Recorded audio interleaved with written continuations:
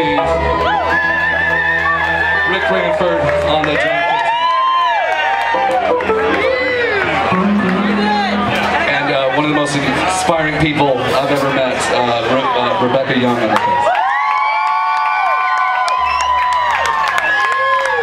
Thank you.